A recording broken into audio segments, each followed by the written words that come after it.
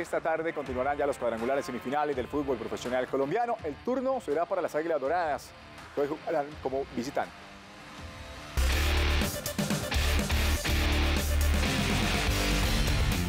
Además de la clasificación, otros retos se han cumplido en la era de Lucas González. Fue una de las cosas que nosotros intentamos hacer cuando llegamos, y reemplazar la palabra chico por joven. Eh, y los jugadores lo han entendido, porque uno no puede tener muchos títulos y no puede tener mucha historia en poco tiempo, eso se construye con tiempo.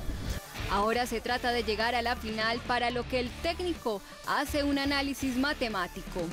Las probabilidades te dicen que si haces 13 puntos tienes probabilidades sólidas de meterte en la final, entonces vamos a intentar empezar por este primer partido.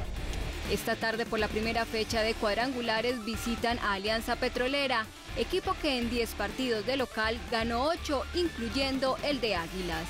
Es un rival difícil, Alianza es un equipo que hace muchos goles, pero también le hacen goles. Em, es el equipo del fútbol colombiano que más remates permite, entonces intentaremos sacar ventaja de eso. Juan David Valencia y Diego Valdés se recuperan de las lesiones. El resto de la plantilla dorada está a disposición para el juego de hoy.